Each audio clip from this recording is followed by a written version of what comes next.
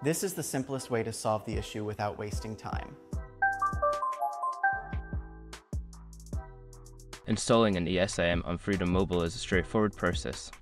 Follow these steps to get your ESIM set up on your device. Step 1. Check device compatibility. Ensure that your smartphone is ESIM compatible.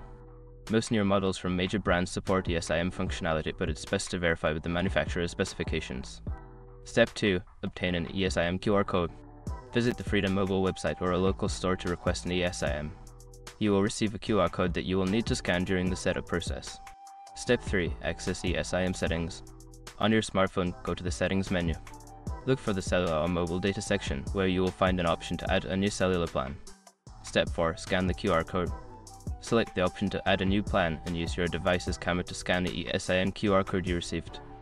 Follow the on-screen instructions to complete the setup. Step 5. Activate your ESIM.